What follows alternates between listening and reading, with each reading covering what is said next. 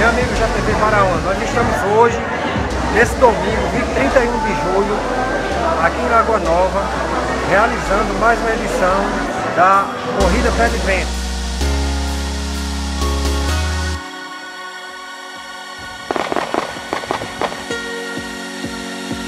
Um evento com a participação de atletas de várias cidades aqui de Seridó e também da Paraíba, de Picuí,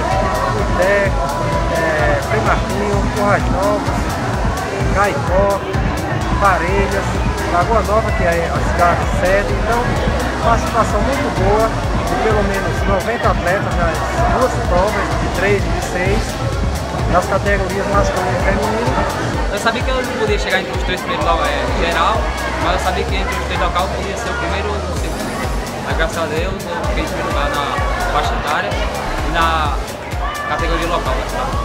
Foi mais um prazer estar representando nossa cidade aqui. Foi desde 2008 quando voltei de Natal para o Raizol e radiquei aqui com...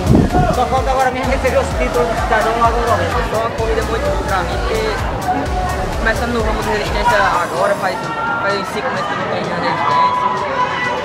Espero que venha mais difícil para mim, que esse ano estou melhorando. Até, até o ano passado não ganhava quase nada na resistência e começando agora a ganhar.